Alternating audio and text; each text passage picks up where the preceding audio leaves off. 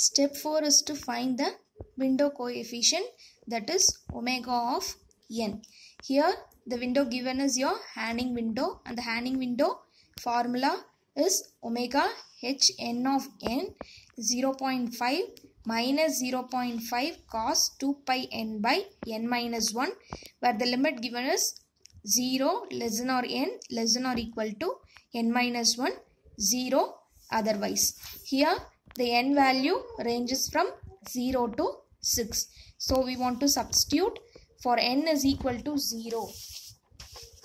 For n is equal to 0, your omega h of n of 0 is equal to 6. That is your symmetric sequence. 1 is equal to 5 and 2 is equal to 4. n is along 3. That is your center of symmetry. Substitute 0 in the above formula and calculate it using a scientific calculator. Then step 5 is to find h of n where h of n formula is given as hd of n into omega of n.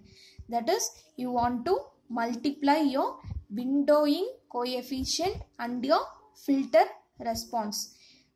Then similarly substitute from n is equal to 0 to n is equal to 6.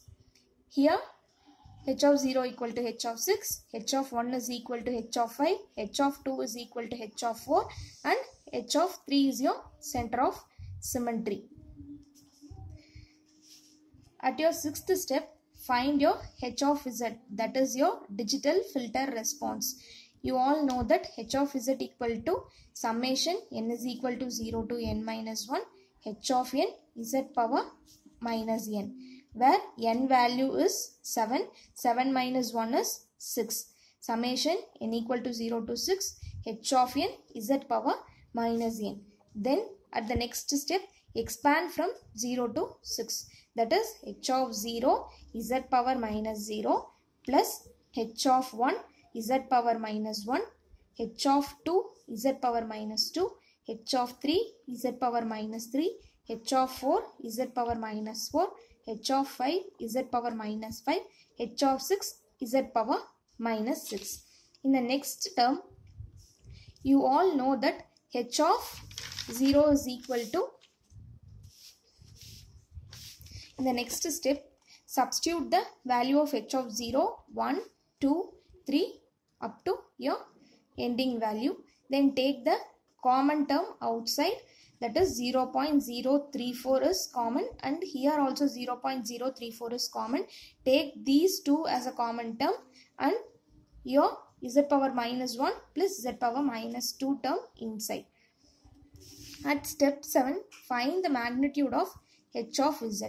Here we can use two method to find your h of z and here I used this common formula method. This one is easier compared to your another method. h of e power j omega equal to summation n is equal to 0 to n minus 1 e power minus j omega n h of n. You all know that the value will ranges from 0 to 6.